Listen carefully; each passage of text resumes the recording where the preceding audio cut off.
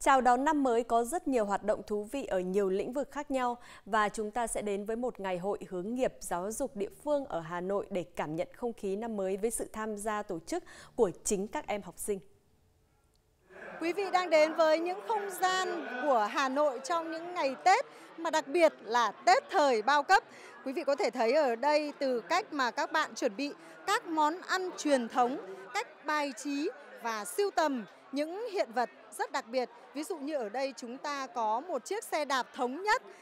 Đây là trại của học sinh lớp 10 với chủ đề Giá trị lịch sử, văn hóa truyền thống, các ngành nghề của Hà Nội.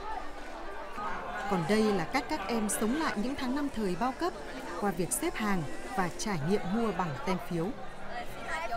Sự kỹ lưỡng trong tìm hiểu thông tin thể hiện qua việc học sinh tìm mượn bằng được những vật dụng xưa như chiếc nồi đồng này để nấu bánh trưng. Học được nhiều điều mới và cũng như là uh, đem đến nhiều hiểu biết cho bọn con.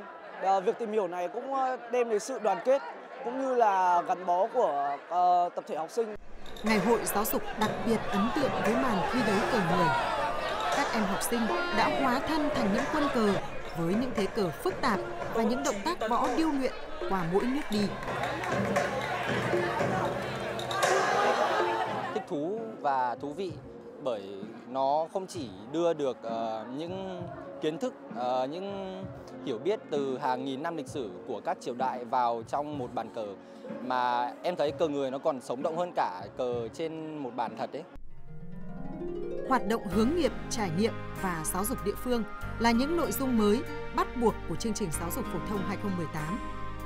Khi nhà trường, thầy cô thực sự tâm huyết, học sinh sẽ được thỏa sức thể hiện tài năng của mình. Các em học sinh thì đang sống trong thời đại hội nhập văn hóa toàn cầu và việc mà các con có được một cái sự kết nối đối với văn hóa truyền thống của dân tộc, văn hóa truyền thống của địa phương và đặc biệt là một mảnh đất nghìn năm văn hiến như Hà Nội là một việc mà rất là quan trọng. Và chỉ khi mà các con có được một cái ý thức văn hóa sâu sắc với văn hóa truyền thống của mình thì các bạn mới có thể tự tin và có bản lĩnh để có thể hội nhập với văn hóa thế giới. Được thực học, thực làm, học sinh sẽ thấm sâu những trải nghiệm tình yêu với văn hóa truyền thống, sự gắn kết bạn bè, thầy cô từ đây sâu sắc hơn. Đó cũng là cách để xây dựng trường học hạnh phúc.